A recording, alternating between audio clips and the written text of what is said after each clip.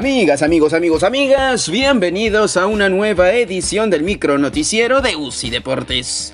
La continuidad de algunos jugadores que llegaron esta temporada para reforzar a Alianza Lima es desconocida.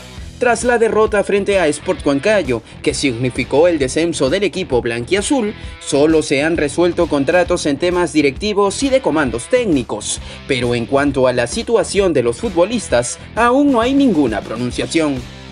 El delantero Patricio Rubio es uno de los elementos que llegó a la victoria casi a finales del campeonato. El atacante chileno utilizó su cuenta de Twitter para indicar lo siguiente respecto a su situación. Esperemos que se resuelva. Aún no tengo idea de mi futuro. Solo sé que tengo contrato hasta 2021, así que seguimos más fuertes que nunca. Vale recordar que la institución blanquiazul anunció la desvinculación de los técnicos Daniel Amet y Guillermo Salas, además del directivo Víctor Hugo Marulanda.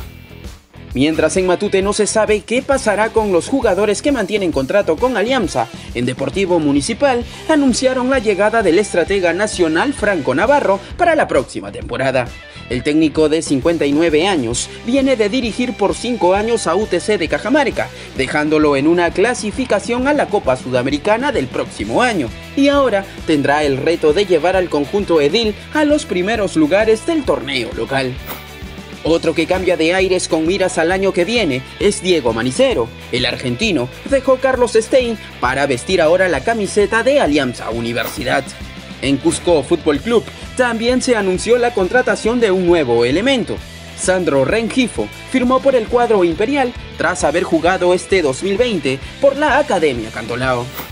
Mientras otros se van, otros se quedan. Yuriel Celi renovó su vínculo por una temporada más con el elenco chalaco. En Cienciano del Cusco, Abdiel Ayarza continuará vistiendo los colores del papá de América junto al arquero Daniel Ferreira.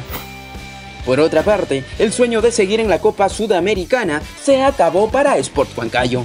El equipo chileno Coquimbo Unido eliminó de la competición al cuadro dirigido por Wilmar Valencia. Los goles del encuentro fueron marcados por Diego Vallejos al minuto de juego y Lautaro Palacios a los 81 de la segunda mitad. Huancayo llegó a esta instancia luego de sacar del camino a Liverpool de Uruguay y pese a la eliminación se destaca la entrega del equipo.